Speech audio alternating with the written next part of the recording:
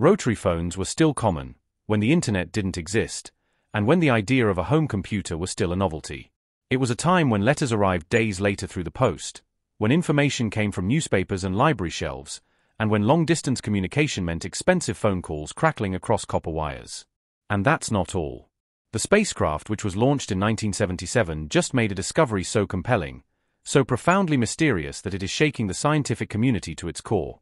It has captured the attention of the entire world, igniting both scientific debates and public imagination in equal measure. The mystery doesn't just lie in the technology, or in the endurance of these machines, it lies in what they have revealed in the deep silence of space. What could this amazing find in the far reaches of space possibly be? And perhaps more intriguingly, what does it mean for us here on Earth? There was a key moment in history, an inflection point, when two of the most amazing space missions ever launched by humankind ushered in a brand new era of exploration. These were not merely missions. They were odysseys, journeys into the unknown, carrying humanity's curiosity beyond anything we had previously imagined. This revolutionary turning point was made possible thanks to the brilliant and forward-thinking mind of Gary Flandro, an engineer at NASA's Jet Propulsion Laboratory. Flandro, with nothing more than a pencil, paper, and a 20th century engineering mindset, made a startling discovery that would shape space exploration forever. During the late 1970s and early 1980s, an extraordinarily rare and favorable planetary alignment was due to occur, one that happens only once every 176 years. This alignment involved the four gas giants Jupiter, Saturn, Uranus, and Neptune. In this rare cosmic configuration, they would position themselves like celestial beads strung on an invisible necklace, with Earth dangling at one end. This cosmic dance was no small matter. It offered a chance to use the gravitational pull of each planet to accelerate a spacecraft's journey, a technique known as a gravity assist or gravitational slingshot. The concept was elegant yet powerful.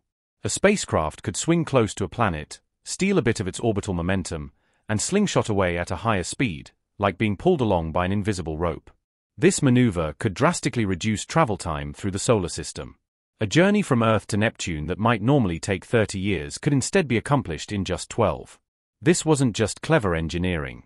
It was a once in a lifetime opportunity, Literally. NASA knew it had to act fast. And so, with incredible speed and precision, they launched two identical spacecraft, Voyager 1 and Voyager 2. These twin probes were launched during the summer of 1977, only 15 days apart. Their mission was to take advantage of this rare cosmic window and explore the outer planets in a way that had never been done before. No one at NASA could have predicted what these twin explorers would ultimately achieve. More than 45 years after their launch, both Voyager 1 and Voyager 2 remain operational, still sending back data, still pushing the boundaries of human reach. They are now the farthest human-made objects in history, having traveled far beyond what was originally imagined. Their mission, meant to last just four years, has stretched into nearly half a century. From the beginning, these spacecraft defied expectations. They delivered astonishing close-up images of Jupiter and Saturn's moons, revealing worlds that were dynamic, complex, and teeming with activity. Humanity discovered moons with volcanoes, vast frozen plains, and mysterious atmospheres, places that were anything but the dead, frozen spheres we once imagined. Voyager 2 achieved historic firsts of its own. In 1986, it became the first spacecraft to approach Uranus. Three years later, it repeated this feat with Neptune, giving humanity its first ever close up look at the ice giants. Before these encounters, Uranus and Neptune had been little more than blurry, featureless orbs glimpsed through Earth's telescopes. Voyager 2's journey transformed speculation into knowledge, revealing the striking beauty and complexity of these remote planets. By the time it had traveled more than 14 billion kilometers from Earth, Voyager 2 had boldly gone where no probe had gone before. Despite their modest size, comparable to a Volkswagen Beetle, the Voyager probes survived the harsh conditions of deep space and continued to expand the boundaries of our understanding. Their voyage began with a maneuver around Venus, using its gravity to gain speed, a feat never before attempted by any spacecraft bound for Mercury. This cemented their status as trailblazers. To reach Jupiter, the Voyagers had to travel a distance more than 10 times the stretch from Earth to Mercury, passing through the dangerous asteroid belt along the way. Though Pioneer 10 and 11 had braved the celestial minefield before, the achievement was still monumental. Onboard intelligence was limited. Each Voyager carried computers with a mere 69 kilobytes of memory, a fraction of what even the simplest smartphone holds today. Data was recorded on track tape recorders before being transmitted to Earth using a 23 watt transmitter, about the same power as a household light bulb. Communications were made possible by 12 meter diameter satellite dishes beaming radio waves across unimaginable distances. But every day the challenge grew. The Voyagers moved 3 to 4 light seconds farther from Earth daily, making the time delay in communications longer and longer. Eventually, signals took more than 18 hours to arrive. On top of this, background noise from Earth, radio towers, televisions, cell phones, began to interfere with the faint messages trickling in from the edge of the solar system. And yet, the Voyagers endured.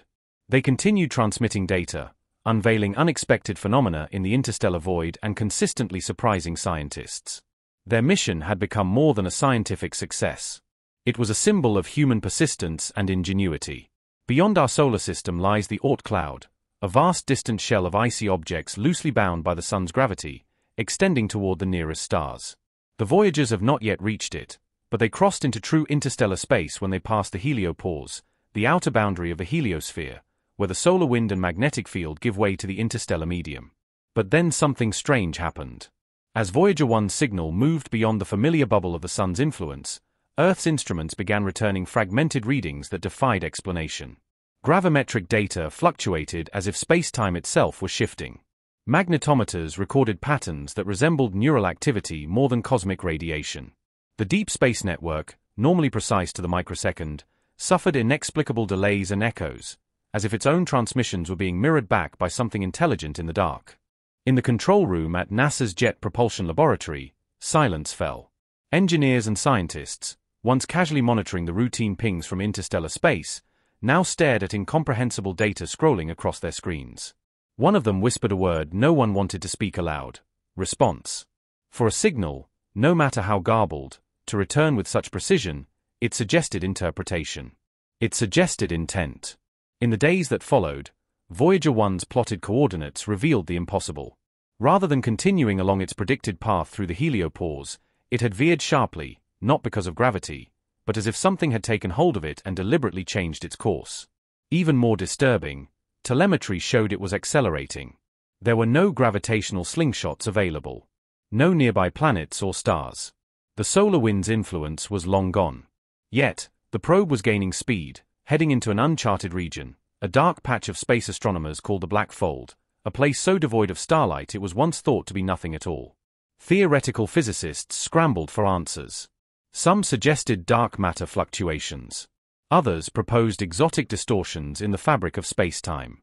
None of the models fit. Something had taken Voyager 1. Something had reached out and pulled it in. And then the real shock came. Voyager 1's imaging system, thought long dead, suddenly powered back on. Not only was it active, it was transmitting images. The first was a blur, a swirling field of black and iridescent colors like oil on water under polarized light. The second was clearer, a structure. It hung suspended in the void, vast and faintly glowing. It looked like a cathedral made of crystal and shadow, its towering spires stretching into the dark like antennae or tendrils. Pulses of light moved along its surface in rhythmic waves, almost as if it were breathing. It was not a natural formation. Its symmetry was too precise, its form too deliberate. The probe drew closer. Earth scientists and millions watching around the globe were transfixed. No one knew what to call it at first. Some named it the locus, others the sentinel.